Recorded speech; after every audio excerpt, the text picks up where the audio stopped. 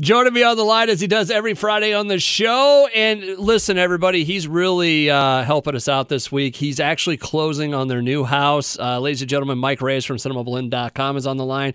Uh, dude, I can't believe you're taking the time to do this this week. Dude, it is always my pleasure to do this because I like talking with you. And, you know, that's part of what keeps this show going. Dude, listen. dude. Dude. Dude. Dude.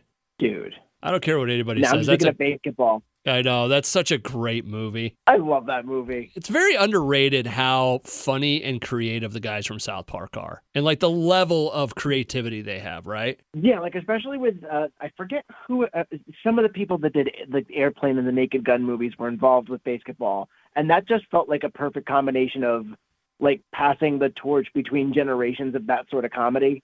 Yeah. Well, it's just they're they're really good at it, and I don't think like it's easy just to go, oh, they're just a bunch of guys that say you know and you know uh, make toilet humor, but their stuff is really funny on next level type funny, you know. Well, especially when you look at the swearing and the the toilet humor that goes into their movies and that basically like how uh bigger longer and uncut is still a, a gem to me it Yes. is an absolute gem uh, Mike Reyes from cinemablend.com on the line with me right now. Well, we, we do appreciate it. Uh, good luck with the, the house and the moving and all that this weekend. Uh, should be an absolute joy, as I recall, with our house. So, is that an actual absolute joy or are you like sarcasming me here nah, there was a little bit of sarcasm there. It was more like we were lucky where we still, like, we took possession of the house, but we also had like a couple week, like two, three, maybe even almost a month of like rent left, so we could slowly move. We didn't all have to do it all in a weekend. oh see i would have loved that but we everything just the timing did not work out even the timing that we had originally planned for didn't work out but you know it's it's coming together that's the thing and uh, hopefully you know won't be too painful by the time we speak next week and it'll probably be from the new home base There you go, Mike Reyes. Let's get to movies. Uh, the big one this week is Hellraiser, something or other on Hulu, right? Yes. Oh, so I will automatically preface this by saying I am not a dyed in the wool Hellraiser fan. Uh, I just I haven't seen the original films. I have nothing against them. It's just I'm not you know an expert, Okay. but I know of the series. I know of the character of Pinhead and you know the basic one, two, threes of it. So the new film is basically being billed as a reimagining of the original 1987 film from Clive Barker uh, who was also the author of the novella that the whole thing was based off of, The Hellbound Heart. Okay. And it is directed by David Bruckner, who also did The Night House, which is, it, and it also his writers for The Night House, Ben Collins and Luke Piotrowski, are also part of this film. And if you have not seen The Night House, I definitely recommend that. I also definitely recommend this new Hellraiser. Awesome. You liked it then, right? Yes. I cannot think of the last horror movie that not only delivers on the gore and the horror that this thing holds in it, but at the same time, there's such a delicate balance that they they ride. Like there's a lot of atmosphere, there's plot, there's like things things move. It maybe it may have been The Night House is the last horror movie I can think of where it was really just deliberate and it's a slow burn, but at the same time, you do have these punctuations of horrific imagery and just like if, if you know the original Hellraiser, you know what you're you're expecting here. So it, it measures up to hooks and chains being you know latched onto people and things being torn apart. I got to tell you, that was never my thing. And uh, Hellraiser, it was one of those movies that it came out, it was 87, the original came out. So I would have been about six. I've never like the, what I've seen. I've never I've never seen the whole thing straight never through. got in. It, it was just never one of those things for me. But I know there are people out there that are like, "Oh my god, Pinhead is the best," you know. Well, I think the other thing that people may misconstrue about Hellraiser, especially with the new one, like I don't know about the sequels, but I certainly I think with the original, definitely with this one, it's not just torture porn for the sake of torture. It's not like Saw or, or Yeah. another, there's another oh there's another movie I can mention this week. But it's not it's not just gore for gore's sake. There is very much a delicate Okay. balance and just the whole mythos of the Cenobites, the creatures at the heart of Hellraiser, deals with pain and pleasure and various different just it's it's real it's exciting stuff. It's a lot of fun and it's very deliberate with what it does. So I highly recommend Hellraiser. All right, that's coming out on Hulu. Uh, it's out as we speak right now. This will air tomorrow. So there. Yes, yes. Mike Reyes from cinemablend.com joining me on the line right now. We're recording on a Thursday, so it'll be out by the time we talk, any or by the time this comes out. Anyways, uh, what's next on the list? I, I don't. Uh, the Werewolf Disney movie is out this weekend, right? Yes, the Werewolf Disney movie. I, I can't think of what it was, um, and my note for it was werewolf. Okay, get off my ass. So what it actually is named is Werewolf by Night. It is a short film, or not a short film, but I, I actually don't know how long it is. It's technically a TV special, but it is a an MCU uh, one-off, which is adapting the story of, I, I believe the co- comic itself is also called Werewolf by Night. Um, what's really interesting about this is composer Michael Giacchino, who's done music for everything from The Incredibles to the recent Batman movie with Michael with a uh, Robert Pattinson. Uh, look up his name, you'll see like a whole bunch of awesome soundtrack credits. He this is his first time directing for Marvel because there is uh, his directorial debut was this cool short film called Monster Challenge, which okay. if you ever get a chance to look it up, it's Patton Oswalt getting drafted into a Japanese game show, and it is it is absolutely hysterical. He's in it. Ben Schwartz is in it. Uh, Dermot Mulroney's in it. Which, fun fact, Dermot Mulroney plays cello, and he plays cello on a lot of Michael Giacchino scores. Okay, all right. By the way, uh, it is 53 minutes long. Mm. Yeah, so that's definitely a special. But it's basically, uh, it almost looks like a game of werewolf where you, a whole bunch of monster hunters are locked in a room and it's like oh yeah by the way one of you's a monster so good luck surviving and as of the time as of the time that we are recording i have not seen it yet i do have a screener for it uh, but you know house Life. stuff yeah. however i will say that by the look of the trailer this is 50s 60s b horror tribute and it looks totally like my thing. And again, huge Giacchino fan. I cannot wait to watch this. Uh, fingers crossed, I actually get to watch it and maybe we record something later this week, if not next week. But yeah. I just wanted to talk it up because, again, huge Giacchino fan. This is one of those things in the MCU that's actually exciting me to watch it, and yeah. it's just in time for Halloween. Uh, it looks good. It looks like the reviews so far are pretty good on it. So yeah, it's one of those things that it, it's it's kind of like the uh, the Knives Out and uh, even you know you go back to the torture porn stuff. If if you do it right, it's awesome. But that line is really fine. Yeah. You you know what I'm saying? Oh yeah, there's there's a fine line between you know, oh I'm tipping my hat to this, wink, nod, yeah. and then okay, I totally understand this and I'm going to play around with it, just like Edgar Wright. Like especially with the Cornetto trilogy, where you go to, go to Shaun of the Dead, Hot Fuzz, and The World's End. He takes those those sorts of movies that he loves, and it's like I know what these are about. Yeah. I know what you're technically supposed to do. But what if I throw in more emotion? What if I throw in a couple more twists? What if I do this and that? It's like you really understand what you're doing. Yeah, that, that, that. You understand what you're doing versus oh i get it i'm just going to be cute about this it's like no you're you're paying homage uh mike Reyes from cinemablend.com joining me on the line uh the other movie and we haven't seen it yet apparently it is a drama comedy it's called amsterdam all I know about it, I just looked up uh, Christian Bale, Taylor Swift, Margot Robbie. That's, That's all I know. Putting it mildly, because there's also John David Washington, Michael Shannon, Mike Myers, Rami Malek. Like this is David O. Russell is known for his all-star cast, and I, I, I don't know exactly what it's oh, about. Um, because the trailer itself is kind of vague about it. I saw the trailer for it. I do. I have seen it. This does look kind of cool. It does look kind of cool. I've heard mixed reviews from it's an absolute mess to it's a little overdone but still fun. Yeah, yeah, uh, yeah. I, am I'm, I'm anxious to, to check it out myself, even though. Uh, even though David O. Russell kind of has a problematic history, and you can look that up yourself on Google. Did I just kill the conversation? No, I just uh, I was leaving. I didn't know who was going to talk first, and I wanted to see how long the silence would go. well, I, I, will tell you the, the stuff that the stuff that's not as disgusting is the fact that he took a swing at George Clooney during the making of Three Kings, uh, and then there's video of him berating Lily Tomlin on the making of I Heart Huckabees, and then there's some really gross stuff. Yeah. That, has come out we're in just, the past couple years. You know what? We're uh, just gonna move on. We're just gonna move on. Uh, yeah. As always, Christian Bale looks like he's having fun. Yeah. Uh, Lyle Lyle Crocodile kids movie. Whatever. I don't want to talk about it. I'll be real honest.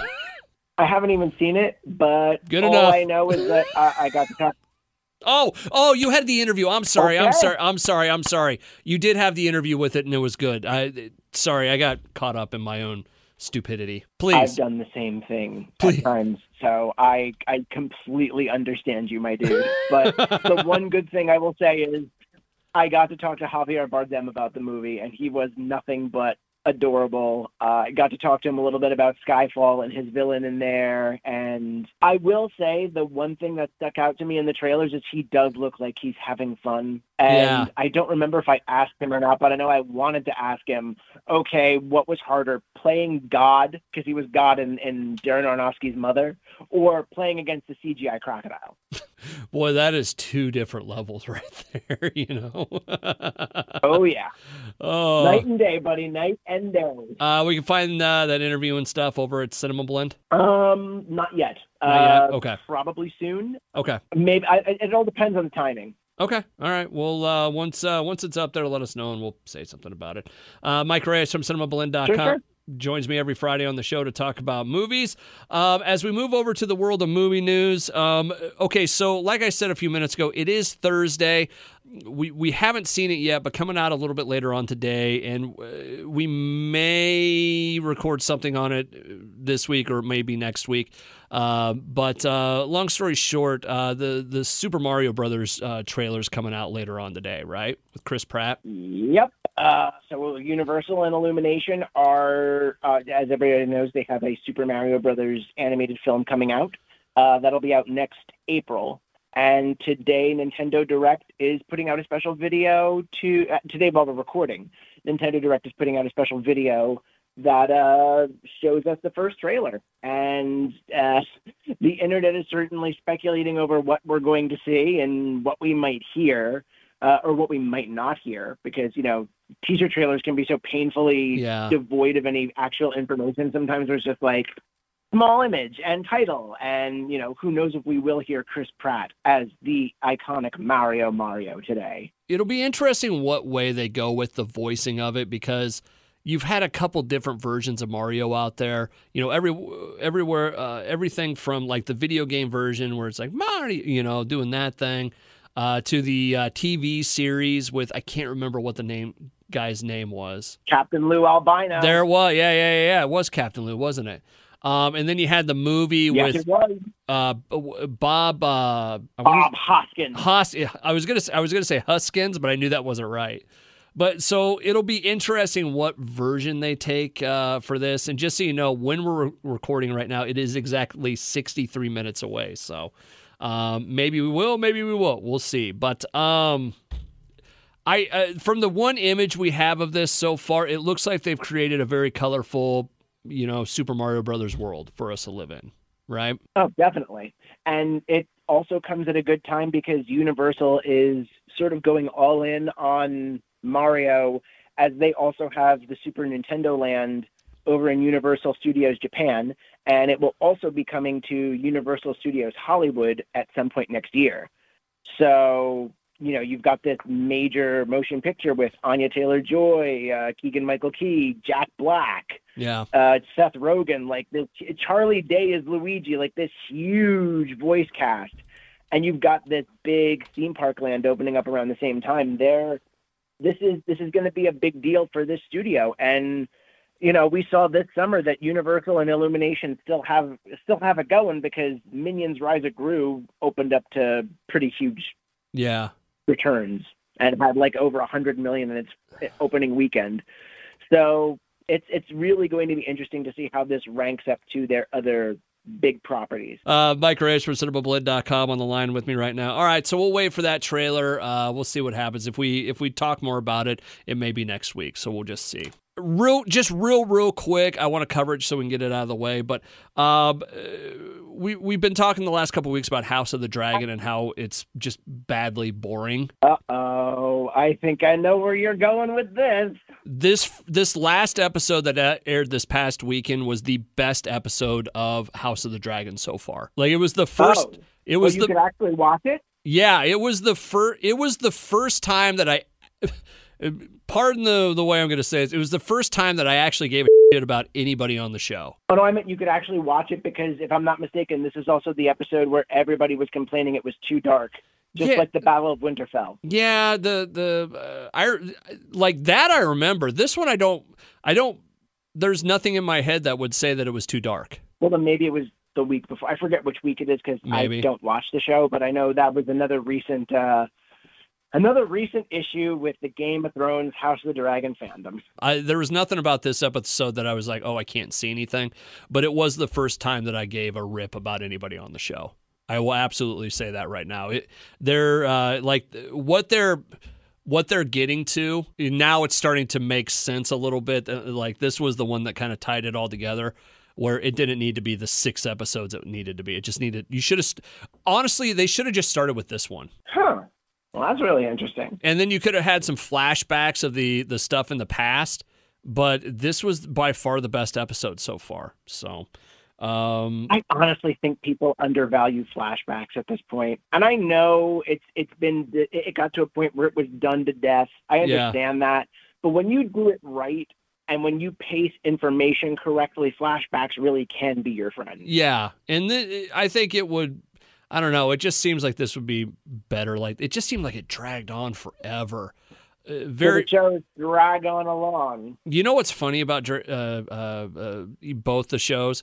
It, a lot of them, you know, it, it all comes down to kids doing something they're not supposed to be doing, and that's what kind of starts the whole thing, or kids seeing something or doing something, and that's Yeah. that's kind of the whole thing about it. It's like if they just watched their kids a little bit closer, we probably wouldn't have all these different wars and stuff. But it is what it is.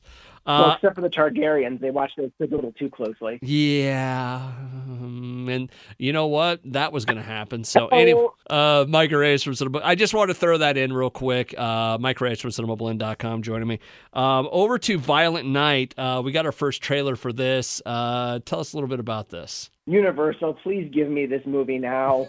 I can't show up to the New York Comic Con screening. Can I please just have it now? I have been a good boy all year. So the uh the bait the go on I was just going to say, what was the movie with Mel Gibson as Santa Claus? Fatman, which uh, This movie looks like what Fat Man should have been. um f- yes it does. Uh well let's just uh let's just put some credentials out here to, to tell the folks at home what they should be expecting. This is directed by Tommy Wirkola, who's done movies like Hansel and Gretel Witch Hunters and Dead Snow, aka Nazi Zombies. It is from the producers of Nobody and Bullet Train, and also I think some people from like the John like this is basically from the same brain trust that does like John Wick and all these other like X is a badass that shouldn't be a badass movies. Yeah. And this time Santa Claus gets to be a badass because ho ho ho, he's just doing his job and he stumbled on the Die Hard scenario where John Leguizamo and his mercenaries want to steal 330 million dollars from this rich family. and who's Santa this time? David Harbour. And the thing that impresses me the most about this trailer is it starts off with like more of a jolly sort of, you know, slightly naughty Santa. You see him having a beer. He's being, you know, he's being nice. He's being typical Santa. You see him eat a cookie and he's like, "Oh, that's good." Yeah. And like, if you were just gonna do a comedy like that with David Harbour, that would have been great. That looks like I would buy that. But then he goes and starts kicking ass, and I buy that too. And then you mix these two things together that when he delivers these lines like time for some seasons beatings, it's it, you buy it because he sells it with conviction and it's not it- it's not just selling you know that's it, that would be a parody movie in another movie in fact the the one thing that i keep thinking of and everyone else keeps thinking of with this movie is the beginning of Scrooged, where they have the film "The Night the Reindeer Died," and Oh, it's like yeah, Lee yeah, yeah. Majors protecting Santa from a terrorist invasion. Yeah.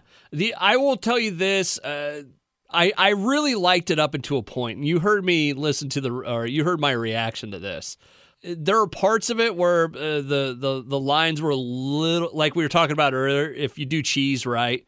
Or you do something, you know, at the right level, you, it's perfect. You know, there's a little Yeah. bit. It's a little too cheesy in parts, but then the other thing, like there's a couple moments I'm like, huh, that's just uh, his character from Stranger Things. Eh, agree to disagree. I it- Especially because the one part that always gets me with this trailer is he pull he he throws the grenade in the guy's jacket and then he's like, I gotta watch. yeah, there just there was moments where uh, Hopper kind of went in there. I'm like, eh, okay, but I I, I I'm gonna watch it. It's not like I didn't like it or anything. It's just there was a couple moments I'm like, okay, Oh, little no, I understand. little too cheesy, little too Stranger Things for me. And those are definitely valid concerns heading into this because this uh, this will be out December second. Uh, but this is it's definitely a, a valid concern because look, heading into Nobody, I don't think anybody would have pegged Bob Odenkirk as being an action hero. Yeah, and then he pulled it off. So, I mean, we may be looking at alternate takes for the trailer, and who knows what we'll get in the final film. But um, I, I agree with you that I am excited. I am reservedly excited because there is always the possibility that you know the finished product's not going to match up. But I, I am December cautiously second. optimistic. I mean, this may be one I watch on uh, Christmas Eve. Who knows? Yeah, I may save it till Christmas Eve to watch it. So it looks pretty awesome. Uh, Mike Reyes from cinemablend.com. You know what? I'll put the uh, trailer on the page as well. So if people want to check it out, they can. Uh, what do we wrap it up with today, Mike? You said you had Oh, one you- more thing? Oh yeah, but I will just uh, one last note about Violent Night. Uh, good thing you're putting the trailer up because people are totally thirsting over David Harbour's Santa Claus. Um, you know what? I, I still think going to, you know, all the Santa Clauses I've seen lately, um, I still am going to say that Kurt Russell Santa Claus is my favorite so far. He is definitely no, he is up there. He is definitely up there uh, in terms of modern Santas. I also really like J.K. Simmons and Klaus, which is a uh, or Klaus. I forget how they pronounced it, but it was it's a Netflix animated movie. It's just knocked down wonderful, heartwarming, but also really funny. But yeah, Kurt Russell really nailed Santa Claus in the Christmas Chronicles. Actually, you know what? Think about this for a second. What if you dropped his Santa Claus into this movie? Oh, dude. I I would have no problem with Kurt Russell going back to action hero like Snake Plissken Santa Claus. yeah. Oh. Snake Plissken Santa Claus, and you could just imagine how that would just lay waste to everyone. Uh, another one I really liked. Uh, you remember? Uh, uh, uh, I forget. I think it was Alec Baldwin, but was it Jack Frost? So, That uh, Rise of the Guardians. yeah, yeah, yeah, yeah. He was in there. I liked his Santa Claus. Oh, I love that movie. Yeah. So, uh, Mike, boy, we'll have to do a favorite. That's a that's a show we need to do before the end of the year. Favorite Santa Clauses in a movie. Yeah, and also actors that should play Santa Claus that haven't played Santa Claus. Oh, that's good. Or Yeah, because there's been some this is kind of a crazy idea, but uh, figure out what movies that you could drop Santa Claus into, and the movie would stay the same. You know who else was also a good Santa? Nick Frost from Shaun of the De- like from Shaun of the Dead and the the, the, the he's almost always with Simon Pegg in the Edgar Wright movies. Yeah. Yeah. He played Santa on Doctor Who and he was fantastic. Uh, Mike Reyes from cinemablend.com joining me. Uh, what did you want to wrap up with? Or what was your Uh, last just thought? a Uh, where, I don't know where we're at here. Just a quick note about something that's sort of near and dear to my heart. This past week was the 60th anniversary of the James Bond franchise, and uh, you know, as part of the celebration, Amazon has put all 25 James Bond movies up, and they have two re- uh, really cool things. Been, uh, one I checked out, one I still need to watch. This year has been a focus. Uh, there's been a focus on the music of the series. So there's a documentary called The Sound of 007, and then there was a concert event that was held a couple night on the night of the anniversary, this uh, October 5th, a couple nights ago. And they have a recording of part of that show. Um, as fans have been eager to point out, they apparently cut out the uh, orchestral renderings of like some of the music. So that's one gripe everybody kind of has. And then uh, the Sound of 007 documentary is only about an hour and a half, and it it it's wonderful, but it still feels a little short. But it's still absolutely wonderful, and like the stories they tell in this thing. Duran Duran is in it. Garbage is in it. Like they've got some real. Jack White is in it and there's some really cool stories about the themes that happened and some of the ones that didn't. Okay, that's uh, we're, we're not gonna. Boy, that's opening up an old wound. uh, I don't know what you're talking about. Everybody's like, "What is he talking no about?" No clue. Not not a damn thing we were talking about. Oh, well, that's no, cool. You know what? I I am still I'm still pursuing that, and they do uh, to a certain. They play a little bit of the song in question from that that little uh, issue we're talking about, but they never really go into it. And I actually got to speak with the director Matt Whitecross, and he was talking about how he basically had to do this documentary in an hour and a half time slot. So there was a lot of stuff that he had that he had to cut that he was like sad about cutting, like aha uh, you know, the guys yeah. who did Take on Me, and also they did the Living Daylight theme. And there was some uh, interesting stuff about how the composer and them didn't get along. There was a little more about Duran Duran and their time doing the song, uh, their time with composer John Barry.